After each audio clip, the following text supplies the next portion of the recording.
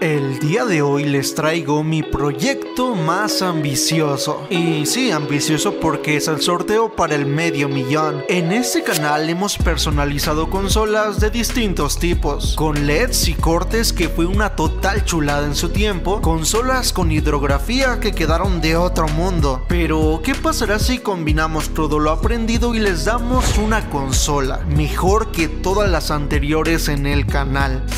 La verdad es que va a ser una misión difícil, pero bueno, si te interesa cómo quedará esta consola y te interesa ganártela, quédate conmigo que enseguida comenzamos.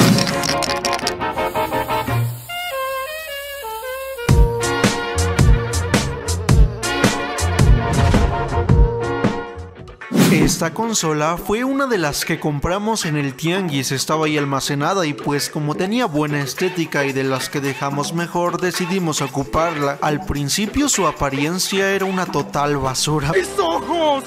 ¡Mis ojos!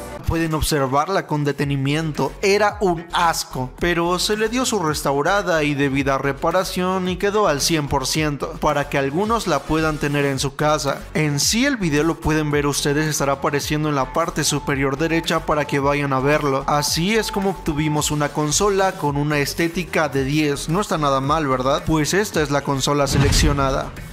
Lo principal para comenzar con la consola es la instalación de los LEDs y obviamente pues tengo que ya tenerla desmontada y todo eso. Pues sí, güey, no mames. La consola la desmontaré hasta el último punto, es decir, hasta el chasis metálico y todo eso, porque aquí hay algo curioso. La salida de 12 volts sale directamente de la placa madre. Ya solo fue cuestión de rastrear de dónde salía y yo decidí sacarla directamente de ese punto en la conexión de la fuente Miren, ahí les voy a dejar una fotito más o menos de dónde lo localicé por si ustedes ahí quieren soltar los puntos. Aquí soldan el positivo y el negativo y con eso podrán alimentar su dispositivo de LEDs. Es decir, si ustedes tendrán algún dispositivo de RGB como el que yo tengo, lo conectan directamente ahí. Yo en este caso, como no quiero un cablerío y todo eso, voy a quitarle la entrada a lo que sería el controlador del RGB, porque sí, van a ser RGB. Lo único que hice es quitar con un cautín, un extractor y le quité esa pieza y directamente soldé las piezas salidas de la placa madre. ¡Wow! ¡Más despacio! ¡Velocista!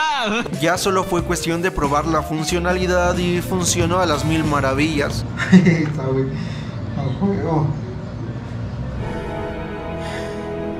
Es bellísimo. A ver, güey. Que tengamos dos tomas de esto. A ver, por dos. Está, güey. Estamos viendo la tira LED. Y pues también se cambia de, de modos. Ya tenemos una consola con LEDs. Bueno, con lo principal, ¿no? Ahora solo queda elegir estratégicamente en dónde le vamos a poner los LEDs. Es decir, ponerlos por toda la carcasa y luego hacer puenteos, que es bastante agobiante. Porque los RGB justamente tienen cuatro pines. Es decir, para hacer los puenteos y todo eso tendremos que ocupar cuatro cables. Y normalmente cuando uno puentea LEDs de un solo color solo son dos. Así que ah, nos hace el trabajo más agobiante, pero bueno, teniendo una buena gestión de cables y todo, la verdad se puede lograr de todo un poco. De las partes más importantes para la tuneación de la Xbox 360 es la selección de los cortes, es decir, imaginarnos cómo se va a ver la consola con los cortes y el acrílico y todo eso. Habíamos pensado en hacer totalmente un rectángulo, pero sinceramente no nos llenaba esa idea, así que decidimos hacerlo de esta forma, dos rectángulos, uno arriba, uno abajo y que se viera el logo de Xbox 360. Bien pensado, Woody. Para hacerlo primero tuvimos que marcarlo con lápiz, lápiz y regla y haciendo los cálculos y toda la banda. Para hacer los cortes ocupamos la herramienta Dreamer o Mototool como le quieran decir. Llevaré 10. De esta herramienta hay muy económicas. Antes cuando recién iniciábamos el canal ocupábamos una que costaba unos 300 pesos. Así que si quieres empezar a hacer este tipo de cortes y animarte, pues puedes empezar por ahí. Solo fue cuestión de tener paciencia en cuanto a los cortes, paciencia y tener buen pulso para que no se vaya de lado y tal, pero terminó pasando lo que tenía que pasar. Nos terminamos pasando del corte y, y la neta pues quedó algo culero. Bueno, tú estás pendejo, ¿ok, hijo? Pero recuerden que siempre se pueden arreglar las cosas. Así que con resanador de plásticos es ocupado para autos y todo eso, para cascos, de todo un poco. Con resanador para autos, resanamos la consola Xbox 360, le pusimos el plástico, toda la onda y lo resanamos. Después de eso solo fue lijarlo. Y la pieza ya nos quedó bastante aceptable a la vista. Como a la consola después se le va a hacer el proceso de hidrografía y todo eso, no se va a ver lo blanco.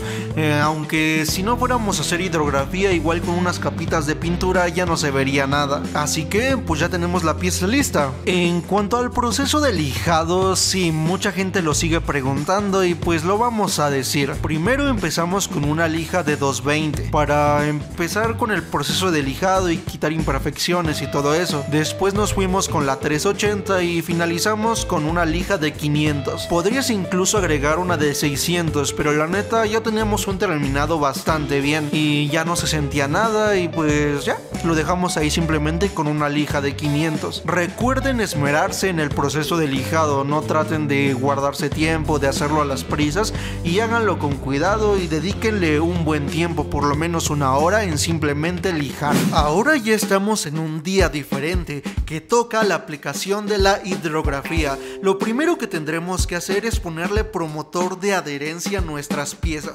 Como pueden ver son tres piezas la que tenemos aquí, así que se lo tenemos que poner. Eh, el promotor de adherencia suena muy cabrón y todo, pero solo funciona para que lo que vayamos a poner primer o pintura se adhiera mucho mejor y no tengamos ningún tipo de inconveniente. El proceso que acaban de ver es el fondeado con primer, es decir, la película tiene colores azules y eso y se pone el primer para que resalten más todos los colores. Después de eso, toca la película, lo tenemos que poner en una tina y tenemos que poner cosas como barreras para que no se expanda, porque a la hora de aplicar el activador, la película se empieza a extender y se puede deformar. Ustedes pueden ponerle cinta, en este caso tenemos barreras metálicas que van a impedir la deformación de la película. Y una vez puesto el activador, esperamos unos minutos y toca la inmersión de la pieza. Este proceso lo tenemos que hacer todas las veces que tengamos de piezas básicamente. Lo tenemos que hacer totalmente despacio porque si aceleras en algún momento vas a deformar la película y va a parecer que necesitan más, más vicio. Y pues no, la neta si lo haces con cuidado se ve bastante bien. Aquí como les había comentado, este proceso lo tenemos que repetir por el número de piezas que tengamos. En este caso planeaba saltar esto, pero voy a dejar que disfruten de esta toma.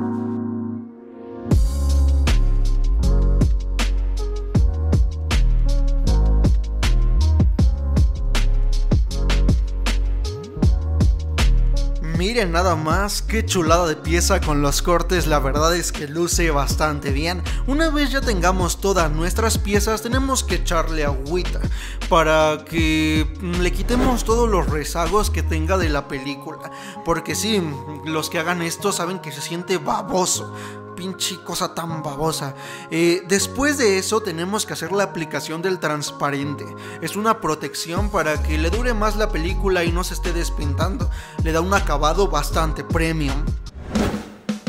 Ahora toca la parte interior, ¿cómo la vas a adornar? Pues con nuestros amigos de Ultra Skin. Ya saben que le pueden encargar stickers, les pueden descargar skin para sus consolas. En sí pues también es una buena alternativa para adornar nuestras consolas por dentro. Como no se despega y tiene buena calidad y es brillante, la neta es que sirve de mucho y con eso adornamos todo por dentro. En sí el lector y unas partes de plástico que habían por ahí. Recuerden no ponerle al disipador de calor. Después de eso va el acrílico. Hicimos todo eso, lo acoplamos y demás y después lo pegamos con cola loca. Y para que agarrara bien, después le pusimos cosas arriba y todo.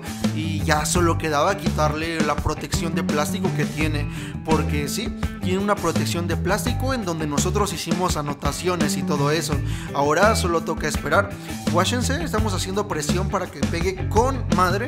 Después ya solo tocará esperar y ya, la consola quedará bastante bien. Aquí les voy a dar un consejo en cuanto al montaje de la consola. Cuando le estén montando y poniendo los tornillos, recuerden calarla a cada rato, porque uno nunca sabe si un tornillo va a pasar a romper un cable y va a terminar haciendo un cortocircuito. Así que recuerden estar calándolo continuamente. Nosotros por cada tapa, por cada tornillo que le poníamos, lo íbamos prendiendo y todo. Y la verdad es que quedó bastante bien. La gestión de cables no se notaba. Y miren nada más cómo se ve la consola. La neta, una chulada. ¿Ustedes habían visto una consola así de este tipo? La verdad es que la temática de Rick and Morty le da otro pedo, otra apariencia y con LEDs chulada. En esta sección, eh, muchos dicen los LEDs aumentan la temperatura, todo eso. Entonces le pusimos unos ventiladores, le agregamos ventilación externa que compramos en Tepito. Por ahí luego van a ver el video. Y le pusimos esta ventilación y la neta es que va a servir de mucha ayuda y pues te va a mejorar la disipación.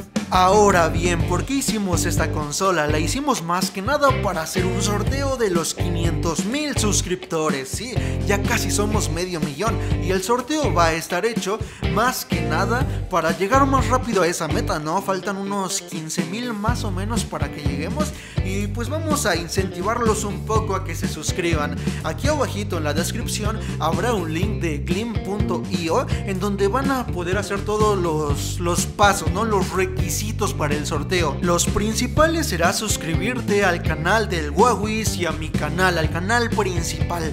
Ya saben, para que lleguemos antes al medio millón. También la página de Facebook, el perfil de Instagram y todo el asunto. Y también en adición seguir al patrocinador de este video, porque créanme que toda la apariencia es gracias a esa hidrografía.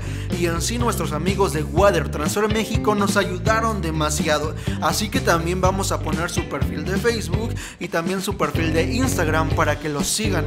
Y además de que hay unos paquetes nuevos que son de videojuegos para que ustedes tunen sus consolas y todo eso. Así que vayan a preguntarles sobre esos paquetes. La verdad es que se están rifando demasiado. Sin más que decir, yo soy Expector y que el dios de esta basura y mi compa el que me ayuda es el Huawei si ya tiene nuevo canal. Recuerden seguirnos, darle like, activar la campanita y nos vemos en un próximo video. Hasta otra. Soy el fucking good de esto que llaman planeta Donde ser diferente parece negligencia. Logran tener paz pero la tienen con guerras. No hay misericordias y blasfemias no existencia Hipócritas, no lo creen así humanos El futuro es de ustedes, no lo dejen en mis manos ¿O acaso? Es que ya lo olvidaron, deja Jesús en las suyas y lo llenaron de clavos